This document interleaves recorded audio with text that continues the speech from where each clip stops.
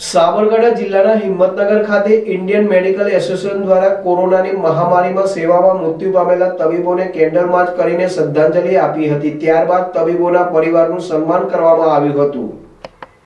Gujarat Indian medical association આદેશ મુજબ રાજ્યની તમામ શાખાઓમાં કોરોના મહામારીમાં સેવામાં મૃત્યુ પામેલા તબીબોને કેન્ડલ માર્ચ કરી તબીબોમાં પરિવારનું સન્માન કરવાનો કાર્યક્રમ યોજવાના પગલે બસો એંસી સભ્યો ધરાવતી હિંમતનગર આઈએમએ શાખાના તબીબો દ્વારા મંગળવારે મોડી સાંજે હિંમતનગરના આરોગ્યનગરથી કોરોના મહામારીમાં સેવામાં મૃત્યુ પામેલા તબીબોને શ્રદ્ધાંજલિ અર્પણ કરવાની મીણબત્તી સળગાવી કેન્ડલ માર્ચ કરી હતી, જે કેન્ડલ માર્ચ પોસ્ટ ઓફિસ પાસેના રેડક્રોસ ભવને પહોંચી હતી, જ્યાં કેન્ડલ માર્ચ પૂર્ણ થયા બાદ રેડક્રોસ ભવનના હોલ ખાતે હિંમતનગરના બે તબીબો કોરોનામાં સેવામાં મૃત્યુ પામ્યા હતા. તેમના પરિવારનું સન્માન કરવામાં આવ્યું હતું.